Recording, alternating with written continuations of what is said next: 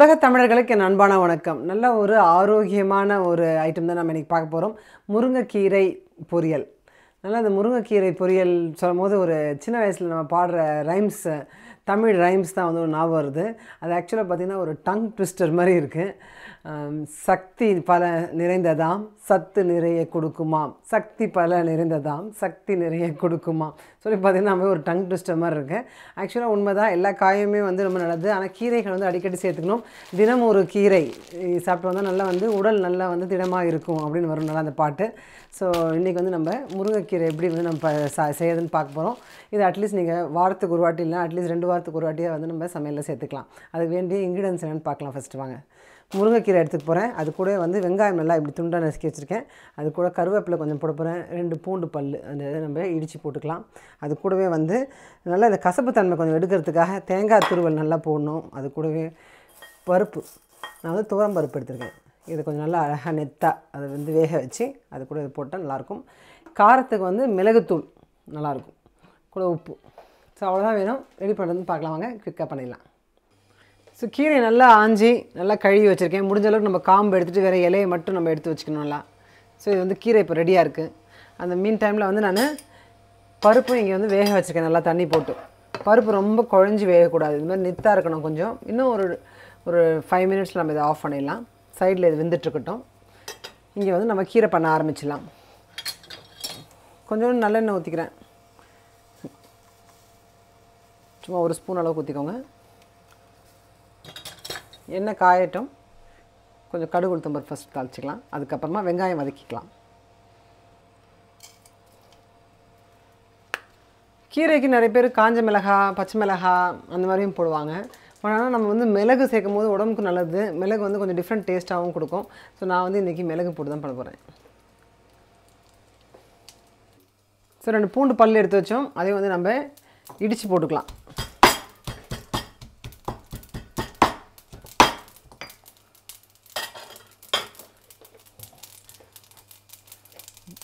இடித்த பூண்டு கூடவே வந்து வெங்காயம் கருவேப்பிலையும் அப்படியே போட்டுறேன்.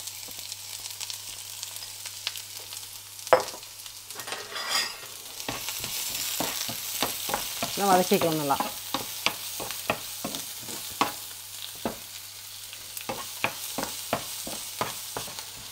வெங்காயம் ஓரளவுக்கு நல்லா கண்ணாடி மாதிரி கொஞ்சம் வந்ததுக்கப்புறமா நம்ம வந்து கீரையும் போட்டு கொஞ்சம் வதக்கிக்கலாம்.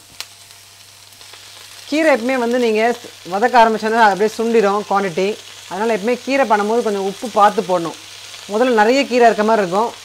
ஒரு ரெண்டு நிமிஷத்தில் வந்து கொஞ்சமாக ஆகிடும் குவான்டிட்டி அதனால் இது கொஞ்சம் லேசாக வதக்குவோம் நம்ம. இந்த மாதிரி வடிகட்டி இருக்கும்போது ஈஸியாக இருக்கும். நம்ம கீரைக்கும் வந்து நல்லா கழுவிக்கலாம் காயெல்லாம் கழுவிக்கலாம். பருப்பு கூட நம்ம வந்து இப்போது ரெடி ஆகிடுச்சு நம்ம இதிலே வந்து வடிகட்டி எடுத்துக்க போகிறோம் பருப்பு தண்ணியை நான் வந்து வேறு எதுக்காக யூஸ் பண்ணிக்கலாம்? ரசத்துக்கு இல்லைன்னா சாம்பாரில் கூட யூஸ் பண்ணிக்கலாம். அதனால் தனியாக எடுத்துடுறேன் பருப்பு மட்டும் வடித்து வச்சுக்கிறேன்.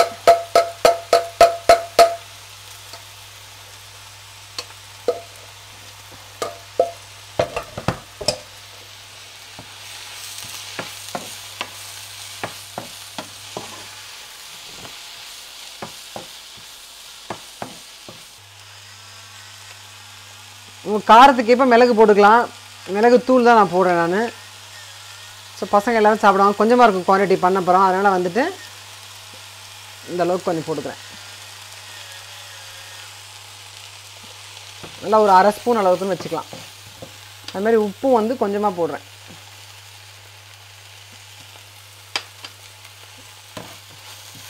இப்பயே பாருங்கள் கம்மியாயிடுச்சு.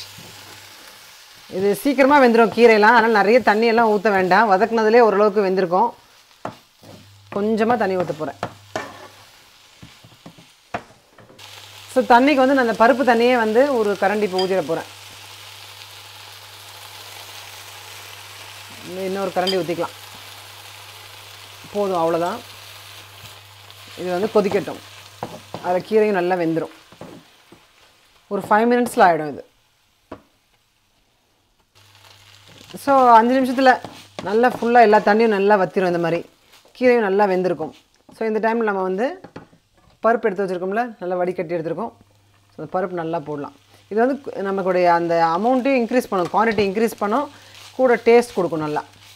ஸோ பருப்பையும் நல்லா அப்படி போட்டுட்டு குழைய பண்ணிட்டீங்கன்னா ஒரு மாதிரி கூட்டு மாதிரி ஆகிடும் பொரியல் டிஃப்ரென்ஸ் வேணும்னா இந்த மாதிரி நல்லா நித்தா இப்படி எடுத்தால் வந்து நசங்கணும் கையில் அந்த அளவுக்கு இருக்கணும். பட் ரொம்ப குழஞ்சிடக்கூடாது. அந்த மாதிரி பருப்பு அழகாக வேக வச்சு இதில் போடலாம். கூட அந்த கசப்பு எடுக்கிறதுக்கு நிறைய தேங்காய் போட்டால் நல்லாயிருக்கும். ஸோ தேங்காய் நல்லா துருவி நிறைய போட்டுருவோம்.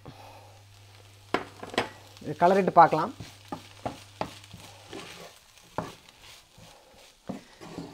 பொரியல் வந்து பண்ணும்போது ரொம்ப நல்லா டேஸ்ட்டாக இருக்கும். பொரியல் சீக்கிரமாகவே பண்ணிடலாம். வெறும் அந்த கீரையை ஆயறது மட்டும்தான் கொஞ்சம் வேலையாக இருக்கும்.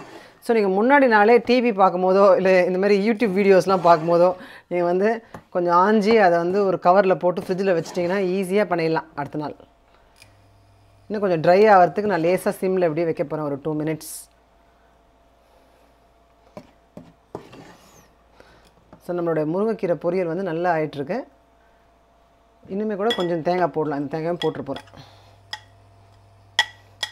தேங்காய் அவங்களுக்கு பிடிக்காதுன்னா கம்மி பண்ணிக்கலாம். எனக்கு நல்லா தேங்காய் பிடிக்கும். ஸோ அதே போட்டு போகிறேன் சுத்தமாக கசப்பே தெரியாது. நம்ம இது சாப்பிடும் போது அப்போ. இது நம்ம சாம்பார் சாதம் குழம்பு சாதம் பருப்பு சாதம் எல்லாத்துக்குமே நல்லாயிருக்கும் ஆக்சுவலாக நீங்கள் வந்து வெறும் சாதத்தில் கூட போட்டு நீங்கள் இது மாதிரி பிசைஞ்சு கூட சாப்பிட்லாம் இதை.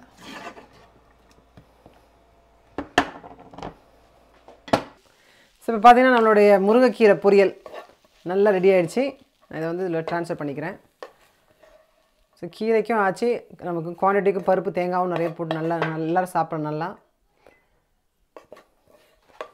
பெப்பர் போட்டிருக்கனால அது ஒரு டிஃப்ரெண்ட்டாக இருக்கும் நீங்கள் மிளகுத்தூள் போட்டு பண்ணி பாருங்கள்